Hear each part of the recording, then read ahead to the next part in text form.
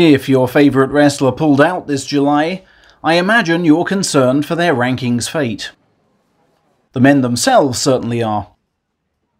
So, let me try to put your minds at ease with the info I've gleaned so far. How then will they make this chart with this unusual set of wrestler results? Let's start with what we know about COVID withdrawals. Takayasu and friends, who pulled out pre-tournament, will be treated in line with existing COVID absence policy, either rank retained or single rung demotion.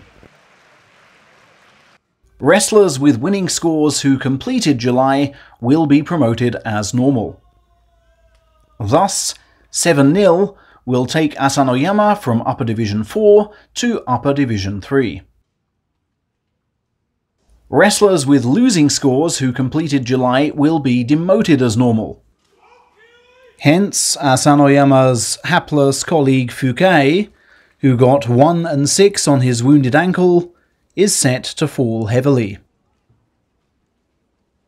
Wrestlers whose winning score was confirmed before their COVID pullout, a la Kota de Bakari, will be promoted. Wrestlers whose losing score was settled pre pullout, like Endo, will be demoted. However, in neither case do we know by how much. It depends on whether COVID absences are treated as losses, discounted altogether, or weighted in some way. Now, as is often the case in Japan, each policy in isolation seems to work. But when they're all put together, something looks wrong. And under this system, the problem is that whether infected or not, the less a COVID impacted wrestler fights, the more likely he is to hold rank. Fighters such as Oshoma, whose winning or losing score was not determined pre-pullout, will, we think, be treated almost as if entirely absent. Rank retained or one rung down. Oshoma has 5 wins, Kaisei has 5 wins, but Kaisei is penalised for fighting more. And while it's likely Shoma would have gone on to claim a winning score, you can't simply extrapolate, as Shodai's form proved. And what of Tsurugisho, who also has 5 wins but whose losing score was decided by his day 13 default? He looked on course for demotion. If we extrapolate, he's demoted, but for all we know, he could have won those final three. Furthermore, Takayasu, who didn't fight at all, is guaranteed the best deal. And Takano Takanosho, who fought and then withdrew due to non-COVID reasons, is also set to be harshly punished. We then have the Mitakeumi controversy.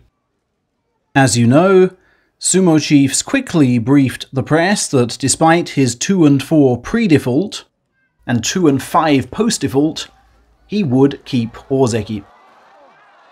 But even Sankei Sports newspaper, loath to criticize Sumo Chiefs, said that by that logic, no one withdrawing midway due to COVID can have their rank changed. How can, for example, a 4-2 winning score earn promotion if a 2-4 losing score doesn't warrant demotion. And just imagine if Shodai had finished with 8 or 9 defeats, which looked likely at the time of Mitake's exit. How could they have justified dropping him and protecting Mitake?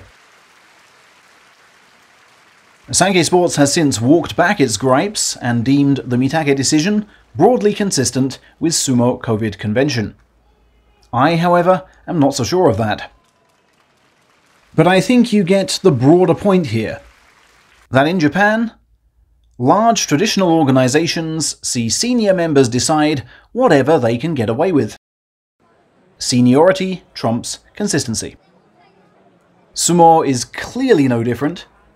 Junior coaches will defend their men and squabble for advantage until seniors shout them down. I've even had two active wrestlers say, when it comes to ranks, what this man says goes. And the chart tends to bear that out. In short, then, the more incomplete your favourite wrestler's score, the safer he is. With under 8 losses at salaried level, or under 4 below that, he's pretty okay.